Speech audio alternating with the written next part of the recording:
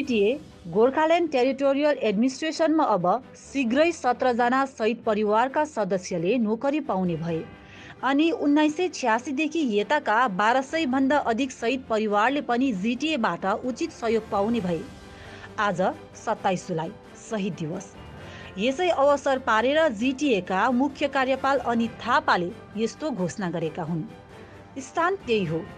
दार्जिलिङको गोर्खा रङ्गमञ्च भवन जहाँ प्रत्येक वर्ष नै शहीद दिवस पालन गर्ने गरिन्छ। आज पनि यसै स्थानमा शहीद दिवस पालन गरियो। शहीदहरूप्रति समर्पित त्यस्तै गीतहरू प्रस्तुत भए। शहीद परिवारहरूलाई उसरी नै मञ्चमा निम्त्याइएर सम्मान जनाइयो। तर आजको शहीद दिवसमा आयोजक समितिका शीर्ष नेताको घोषणा छुट्टै थियो अनि त्यो घोषणामा यथार्थको सङ्केत पनि देखियो। किनभने जिटिएका मुख्य कार्यपाल थापाले एक सप्ताहभित्रै दुई हजार सातदेखि दुई हजार सत्रसम्मका सत्रजना शहीद परिवारका एक एकजना सदस्यलाई जिटिएमा उनीहरूको दक्षता अनुसारको नोकरी दिने घोषणा गरेका छन्। जसमाथि अघिबाटै प्रशासनिक पहल सुरु भइसकेको पनि उनले जनाएका छन्। यति मात्रै होइन उन्नाइस सय छ्यासीदेखि दुई हजार सातसम्मका शहीद परिवारहरूको अवस्था बुझ्नका लागि उनले चार सदस्य कमिटीको पनि गठन गर्ने घोषणा गरेका छन्। जुन कमिटीका सदस्यहरूलाई प्रत्येक शहीदको घर घरको भ्रमण गरेर उनीहरूको अवस्था बुझ्ने पनि थापाले जिम्मेवारी दिएका छन् ताकि उनीहरूलाई पनि जिटिएबाट आफ्नो क्षमताले भ्याएसम्म सहयोग प्रदान गर्न सकुन्। सभाका सभापति महोदय अनि यस समारोहमा उपस्थित सबै बिजेपी पार्टीका अनि सबै महानुभावहरू अनि सबैभन्दा यो गोर्खाको हितको लागि लडाइँको लागि शहीद बन्नुभएको परिवारहरूलाई म यहाँबाट नमन गर्छु। हुन त यो शहीद श्रद्धाञ्जलीको दिन धेरै भाषण दिएर के हुनेवाला छैन। अनि यस दिन भनेको उहाँहरूको आत्माको लागि पूजा गर्ने उहाँहरूको आत्माको लागि शान्तिको कामना राख्ने दिन हो।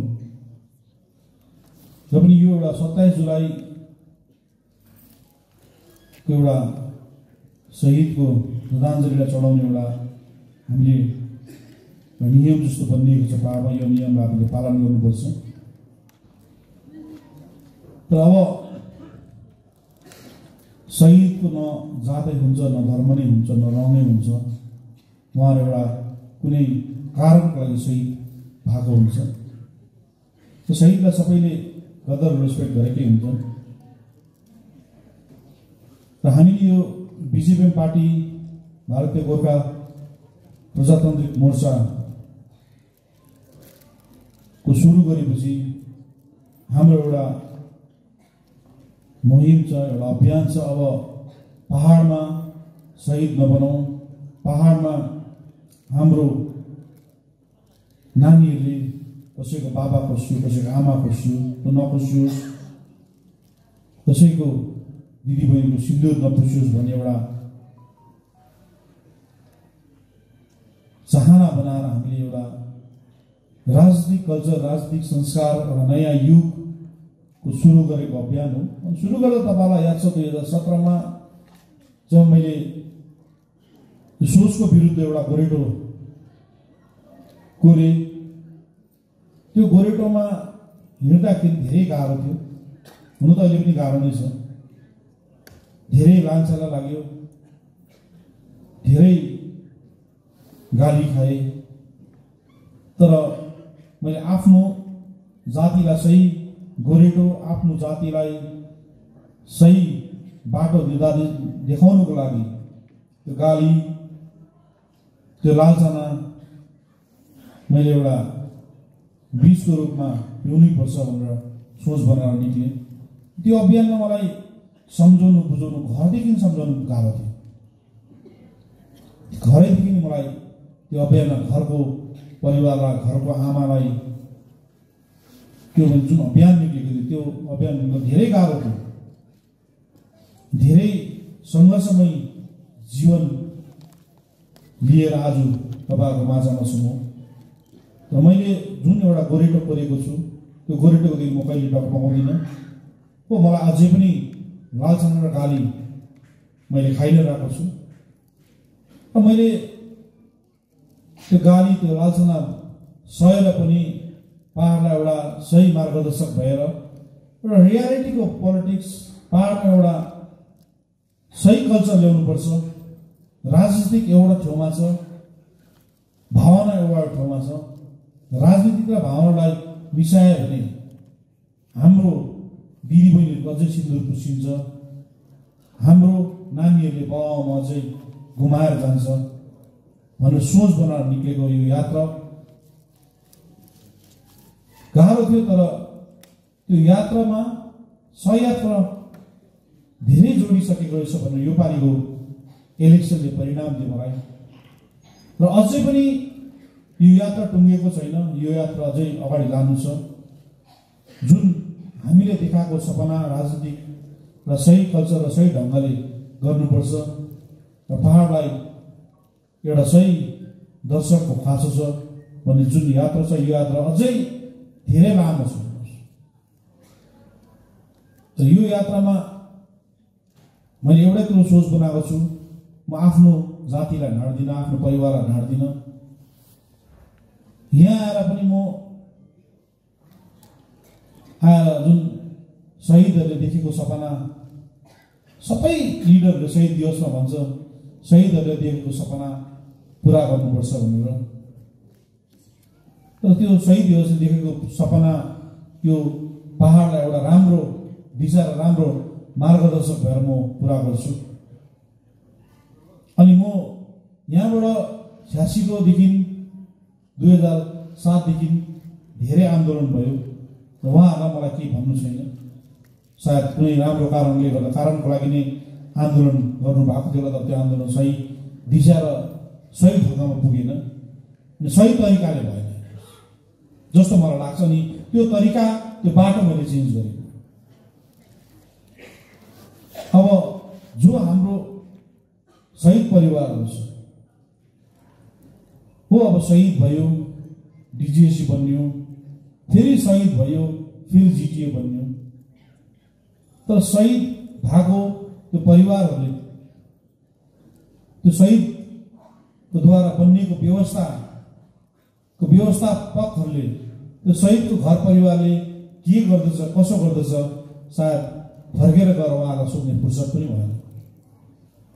जस्तो मलाई चाहिँ लाग्छ। मैले गाउँ गाउँ घर घरमा गएर हेर्दाखेरि बुझ्दाखेरि।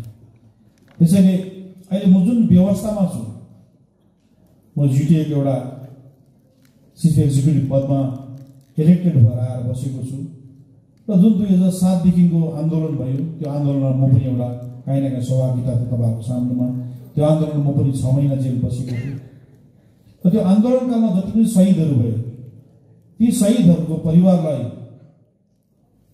मेरो यो जिटिए व्यवस्था अनुसार उहाँहरूको एउटा जिटिए कर्मचारीको रूपमा म नियुक्ति दिन्छु। अनि उहाँको परिवारहरूले हाम्रो जिटिएको सभासद रतन थापाज्यूलाई म यो जिम्मेवारी दिन्छु। तपाईँले प्याड डिपार्टमेन्टमा गएर उहाँहरूको परिवारलाई यो हप्ताभित्रमा हामीले रेडी गरिसकेको छौँ। उहाँहरूको इम्प्लोइमेन्ट पनि उहाँहरूलाई कुन जग्गामा सजिलो हुन्छ काम गर्नु कुन ठाउँमा काम गर्नु सजिलो हुन्छ उहाँको क्वालिफिकेसन अनुसार उहाँको उहाँहरूको एडुकेसन अनुसार उहाँको परिवारहरूलाई हाम्रो सामान्य रूपमा मैले प्रिन्सिपलसितका कुरा गरेर उहाँहरूको सबैको डकुमेन्ट्सहरू पुगिसकेको छ र थापाज्यूलाई हाम्रो एक्जिक्युटिभ सभासद उहाँहरू जिम्मेवारी दिन्छु उहाँको परिवारहरूलाई लिएर तपाईँहरूले लालकोटीमा गएर उहाँहरूको अपोइन्टमेन्ट तपाईँले दिलाइदिनुपर्छ तपाईँहरूको आज मैले यहाँबाट तपाईँलाई जिम्मेवारी दिएको छु र जति पनि हाम्रो छ्यासीदेखिको शहीदहरू भएको छ आज यो दुई हजार सत्रसम्म त्यो परिवारहरूले के गर्दैछ कसरी बस्दैछ त्यो परिवारको नानीहरू कसरी पढ्दैछ उहाँहरूको हालत के छ पोजिसन के छ किनभने वर्षमा सत्ताइस जुलाईको दिन हामीले बोलाएर खदा लाएर कोही बेला प्रेसर कुकर कोही बेला मिक्सर ग्राइन्डर कसै बेला के कोही बेला ब्ल्याङ्केट उहाँहरूले वर्षपछि पाउँछ हेर्नुहोस्। तर त्यहाँ वर्षभरि उनीहरूले पाएको दुःख चाहिँ कसले पनि गर्न खोजेको छैन। उहाँले के भोग्दैछ कसरी बस्दैछ कसरी के गर्दैछ त्यो कसले पनि हेर्नुहोस्। यो एक दिन त्यो पनि मलाई जहाँसम्म थाहा छ। उहाँ शहीदहरूलाई पनि गएर घर घरमा एक दिन प्रोग्राम गराउनलाई उहाँहरूलाई बोलाउनु पर्छ गएर र पनि सायद मनको इच्छाले खुसीले यहाँहरू आएको उहाँहरू। र उहाँ बोलायो शहीद दिवसको दिन आफ्नो घर बाबा खसेको छ बसेको दिदी खसेको छ बसेको आमा खसेको छ दिवसको दिन। उहाँहरूलाई सम्झेर आएको मात्रै हुन्छ। सायद त्यो पोलिटिकल लिडरहरूले बोलाउँदा उनीहरू खुसी भएर आएको छ जस्तो लाग्दैन मलाई हेर्नुहोस्। उहाँहरूको दुखाइ उहाँको पीर लाग्दैन। त्यो वर्षभरि उनीहरूले दुख्दै गरेर सोध्ने कोही पनि आउँदैन नि त फुर्सद छैन नि त।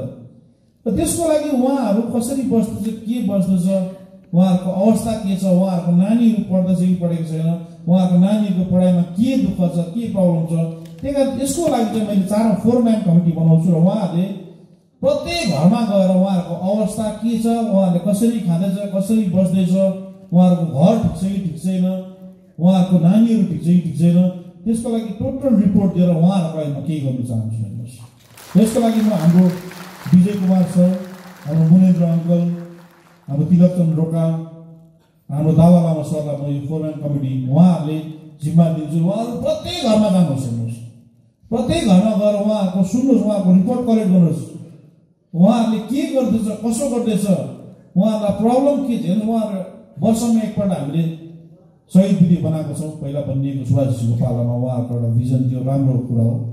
तर एकै दिन सत्ताइस जुलाईको दिन ल्याएर मलाई बोलाएर खदा लाएर मात्रै हुँदैन हेर्नुहोस्। किन हामी एउटा जबसम्म व्यवस्थामा छु मेरो एउटा जिम्मेवारी हो अब। एउटा जिम्मेवारी मलाई इलेक्टेड भएर पठाएपछि मेरो एउटा जिम्मेवारी बनिन्छ कि मेरो जो शहीद परिवारहरू छ उहाँहरूले एउटा कुनै कारणको लागि शहीद भएको छ। शहीद रहर भएर हुँदैन एउटा कारणमा हुन्छ।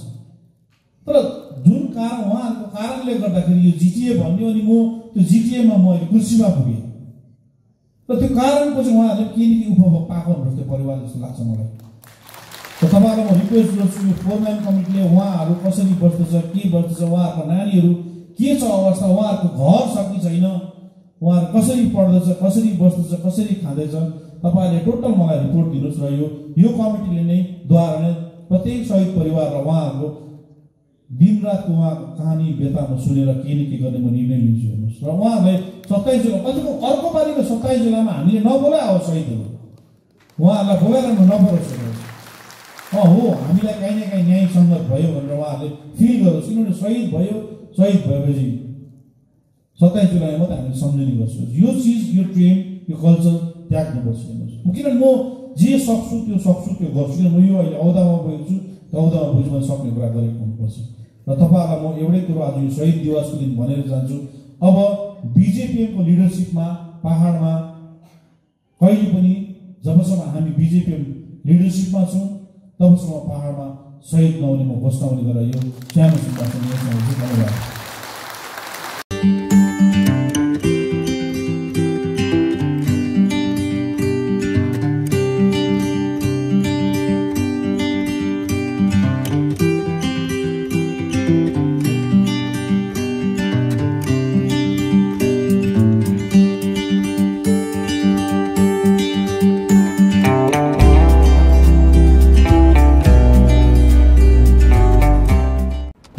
case wasn't just about my client, but all the other victims who were denied justice. Praised before this learned court to punish the guilty. After examining all the evidences and witnesses, the court holds the accused guilty. Small steps you take in life shows new opportunities. Justice, principle and education leads you to develop an honest personality.